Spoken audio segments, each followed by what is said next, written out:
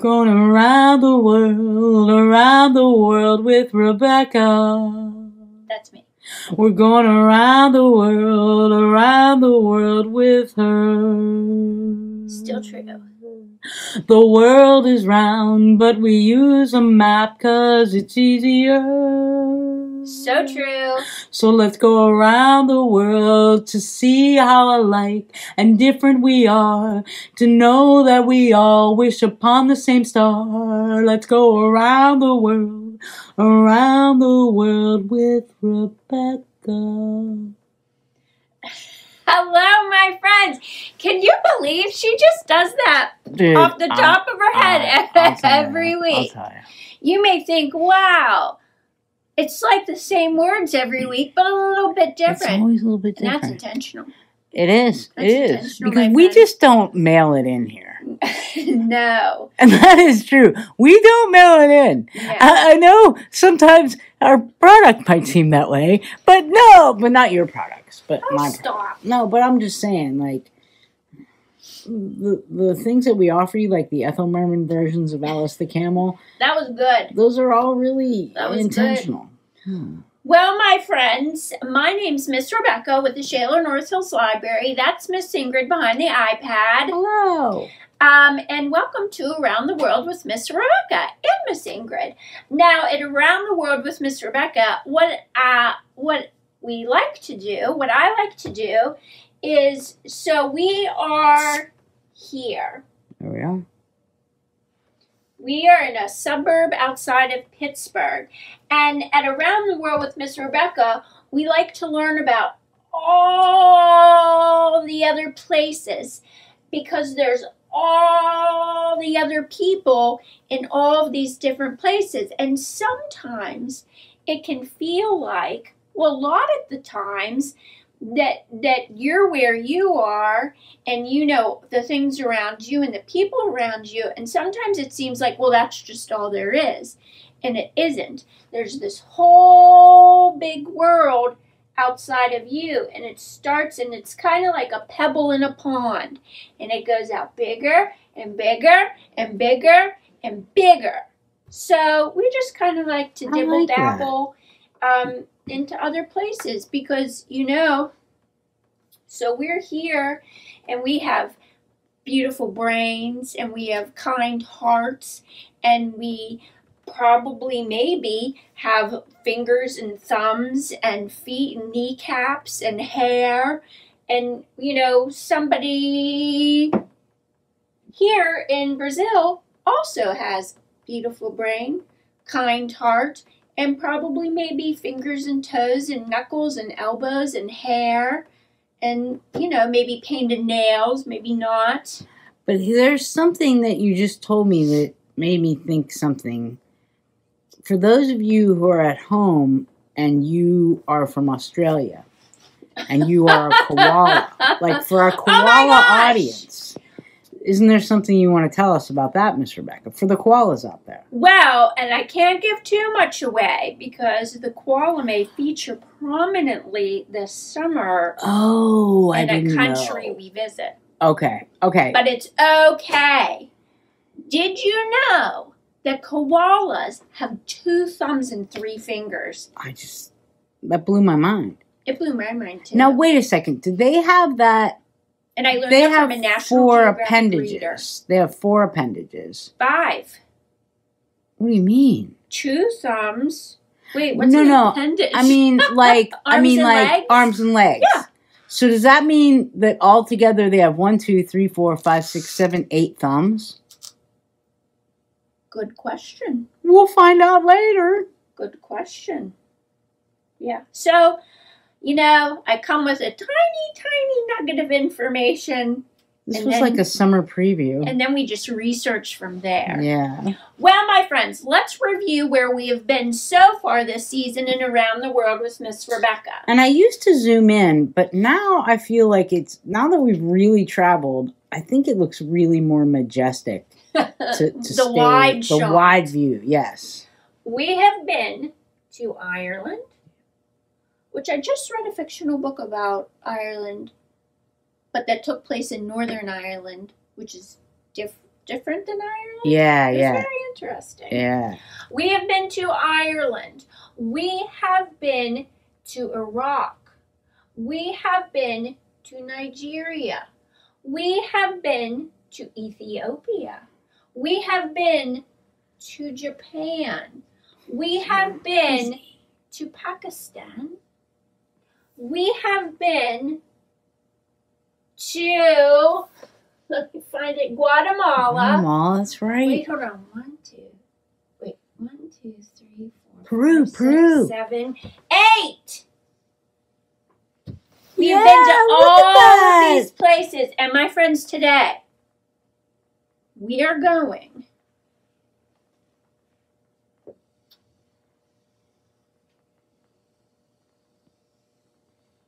To Russia. Wow. I have to be transparent. This is the first country in which uh, I, I had, I'm really looking forward to this for a different reason too. Because I do think that I have a dualistic, negative view about Russia you need to because explain of what the government dualistic means. dualistic dualistic means like you just think you have a tendency to think right wrong you know black white yes no so much this, gray. that. and that, and there's so much gray and i know that and so i tried to fight against that but as soon as i heard russia because of the politics of russia and the ways in which we have been impacted in our country by the Russian government, which I should say, because that's certainly not the people. And so intellectually, I know Yes. that that you know the people of Russia are actually like really warm-hearted and kind and all different, and they have they have two thumbs. I don't know if there are koalas in Russia. and they if they don't have have, that's okay too. you know, if they don't have two, it doesn't matter. So I'm really looking forward to this because I, I really wanted to open my heart and mind a little. Well, and I would like to just throw to you, just for you to have percolate in your brain. Yeah. You had mentioned Russia and its politics, which means government Oh yeah. and government shenanigans. If you think of Russia and its politics as just Russia and its politics, how do you feel if somebody in Russia thinks of, oh, you're an American? Whatever politics or government you have, that's you. Think about it. Okay. Russia. There it is. Join me, won't you? Russia. Same series, countries we come from, Mhm. by Kevin Blake. Table of contents, which we have every week. Matryoshka doll. I love those. We used to have those. Oh. And it's so cool to think about every country we go to. We have similarities and we have differences, but really just there could be a kid or a whoever you are, just like you in this other place, who maybe likes the same things you do, or maybe doesn't like some things that you do. Maybe has hair that looks like you, or not. Maybe it looks totally different and they have the same favorite book as you. It's pretty cool. And if you like soccer, you can bet that you're like most of the kids in the rest of the world. But is that true in Russia? I don't know. Well, oh my gosh. Shall we begin? Yes, let's begin. Sorry. now, all Sorry. I know about Okay. Russia is I watch a show called Deadliest Catch, where Oh, some people fish for crab and they go up here someplace. Yeah. And they always talk about getting close to the Russian line. Be- And there used to be, and I learned this from my geology class in, in college. There used to be that uh, connector. That, when it was like like Pangea was breaking apart, yeah, which is but another. but even like more, re- and that's how people walked across. They fish in the Bering Strait. Yeah. Okay, Okay. let's begin. Sorry. Yeah. This is Russia, majestic, full of culture, and huge. It is huge. Russia is the largest country in the world. It spans two continents, Europe and Asia. See, there it is. More than 143 million people live in Russia, and big giant statues. Hmm. Huge mountains run through the country. Russia's Mount Elbrus is the highest point in Europe. Much of Russia is covered by flat grasslands called steppes. No. There's a step. Step. But I don't want to call it a steep. Steepy.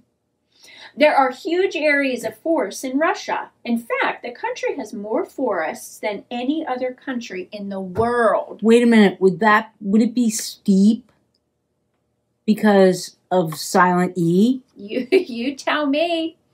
It I could be. wonder if it is steeps because remember when silent E comes at but there's two consonants, so I don't know. Yeah. Yeah. Russia has many different climates. In some areas, such as Siberia, it's really very cold. My Believe- cat is from there. I believe this is Siberia. I have a Russian forest cat from a Siberian forest cat, and I call her Russia. The temperature can drop to an icy minus 89.8 degrees Fahrenheit. That's really cold. That's colder than this room. Well, let's not go that far. In other parts of the country, it's warm enough to swim, though. This is the Black Sea. This is Sochi. It's a Russian city on the coast of the Black Sea. The Olympics took place there several years ago. Ah, Russia has a really long history. For hundreds of years, mighty Tsars ruled. This is Catherine the Great, a Russian Tsar. They helped make Russia very powerful. Russian Tsars lived in a huge building called the Winter Palace. It's now a museum. And if you're interested in Catherine the Great, there what is a who was Catherine the Great that's really nice. In 1917, the Russian people got rid of the Tsars. Russia became the center of a new country called the Soviet Union.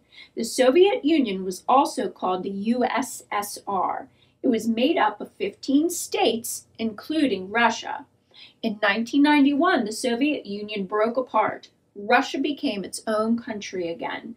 This is Boris Yeltsin. He was Russia's first president. Moscow is the capital of Russia. It's also Russia's largest city. More than 12 million people live there. This is St. Petersburg. It is Russia's second largest city. Most people in Russia speak Russian. Russian uses different letters than the English alphabet. This is how you write and say hi in Russian. Privyet. Privyet. Russians use the Cyrillic alphabet. See, but you know what it means. Crosswalk. Did you know that the first person in space was Russian? His name is Yuri Gagarin. Yuri Gagarin went to space in 1961. However, Laika, a Russian dog, got sent to space four years before Yuri. Russia put the first satellite in space too. It was called Sputnik 1. Russians love music and dance. Moscow's Bolshoi Ballet is one of the most famous in the world. Dancers leap to songs written by famous Russian composers. Folk dancing is also popular in Russia. Russians are also big fans of ice hockey. Some children mm. grow up playing on frozen ponds. What in Minnesota? The puck flies through the air. What other sports do Russians enjoy? Soccer, basketball, Soccer. and chess. There are many delicious Russian foods. People enjoy different kinds of pancakes. Russians also like salty fish eggs called caviar. Soup made from beets and cabbage is eaten on cold winter nights. I love beets, but that sounds not so tasty to me. What else is special about Russia? The country is home to Lake Baikal. It's the largest and deepest lake in the whole world. Mm. More than 28 million people visit Russia each year.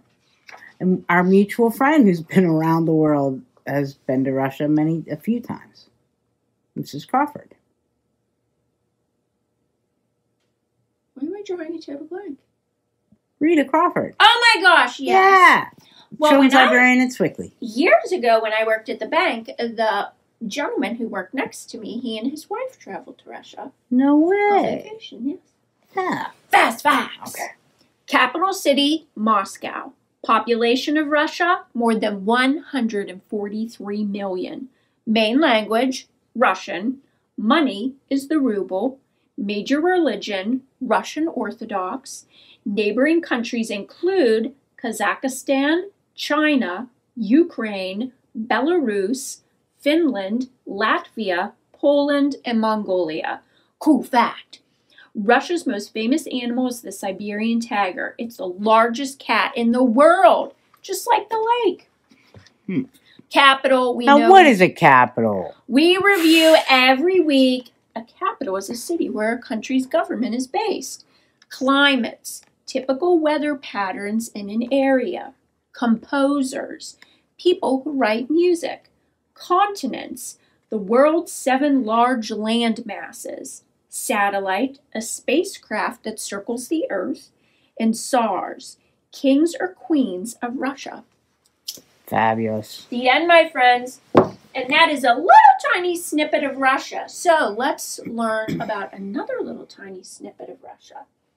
Soccer? Oh, and here's those countries there's China bordering, Mongolia, Kazakhstan,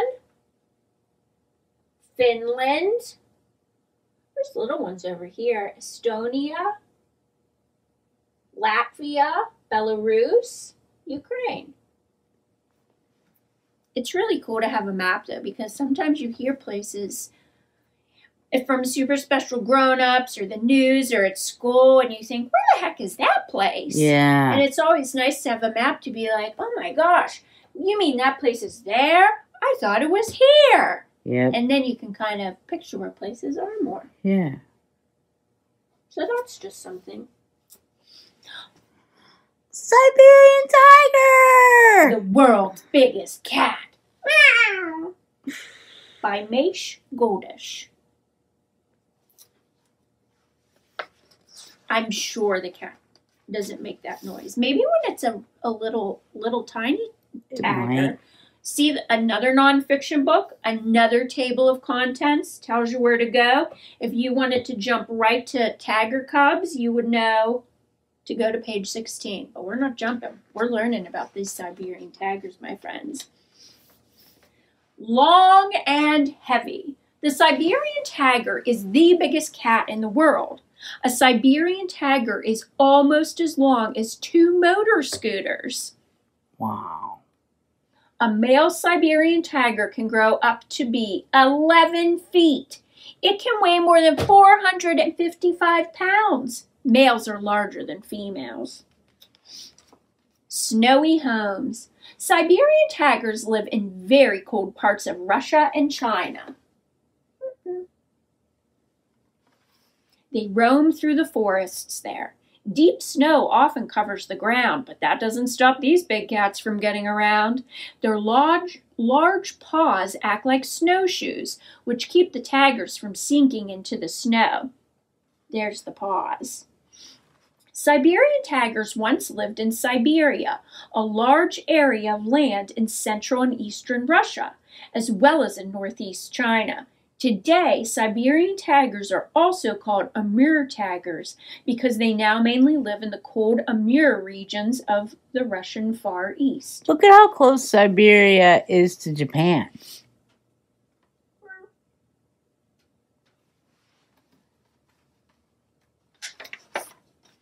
Keeping warm.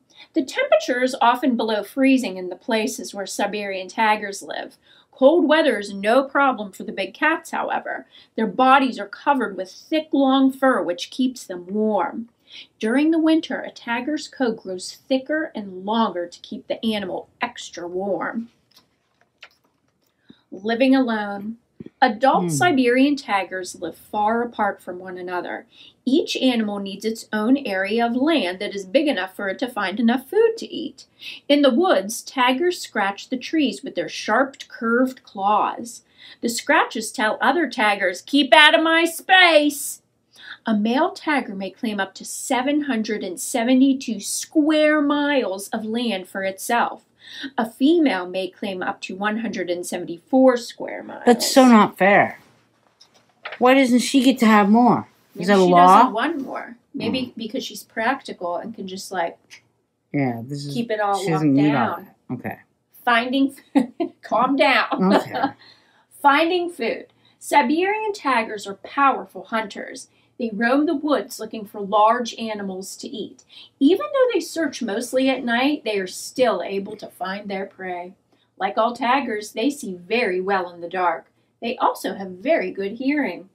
In the dark, Siberian tigers see five times better than people.